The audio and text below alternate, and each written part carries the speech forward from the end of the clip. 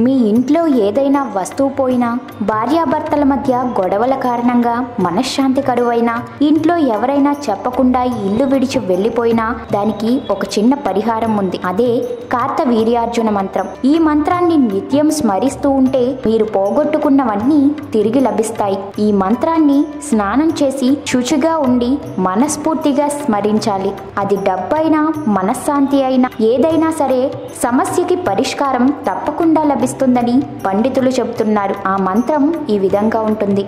ఓం కార్త వీర్యార్జునో నమ. రాజబాహు సహస్రవాన్. తస్య స్మరణ మాత్రేన.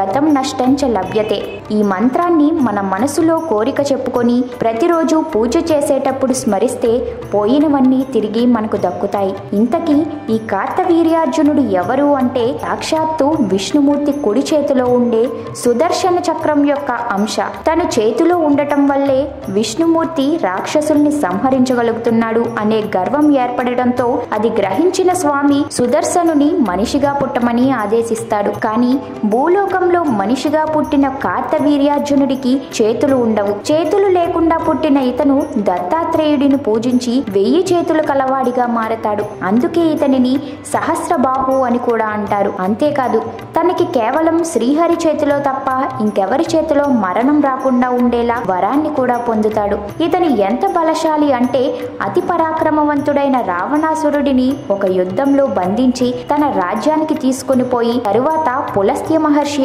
అభ్యర్థన విని అతనిని వదిలేస్తాడు. ఇతని రాజధాని వింధ్య పర్వతాల వద్ద మాహిష్మతిపురం. ఇతని పురోహితుడు గర్గ మహర్షి. ఒకసారి కార్తవీర్యుడు వేట కోసమై అడవికి వెళ్తాడు. అక్కడ అలసిపోయి దగ్గరలో ఉన్న జమదగ్ని మహర్షి ఆశ్రమానికి వెళ్ళిన కార్తవీర్యునికి స్వాగతం పలికి జమదగ్ని విశేషమైన విందు పెడతాడు. అంత రుచికరమైన ఆహార పదార్థాలు కామధేనువు సంతతి అయిన గోమాత ద్వారా లభించాయన్న నిజం తెలుసుకొని దానిని తనకి ఇచ్చేయమని అడుగుతాడు. అందుకు జమదగ్ని నిరాకరించ నిరాకరించడంతో మహర్షి తలను ఖండించి ఆ గోమాతను తీసుకెళ్ళిపోతాడు. ఆశ్రమానికి తిరిగి వచ్చిన జమదగ్ని కొడుకు పరాశరుడు విషయం తెలుసుకొని కార్తవీర్యునితో పాటు ఇరవై ఒక్క మంది క్షత్రియుల్ని చంపుతానని శపథం పూనుతాడు. అన్న మాట ప్రకారమే కార్తవీర్యుడిని సంహరిస్తాడు. పరశురాముడు విష్ణుమూర్తి అవతారం కావడంతో కార్తవీర్యుని కోరిక కూడా తీరి మళ్ళీ శ్రీహరి చేతిలో సుదర్శనుడిగా మారి గర్వం విడిచిపెట్టి తన జన్మ సార్థకం చేసుకుంటాడు. అలా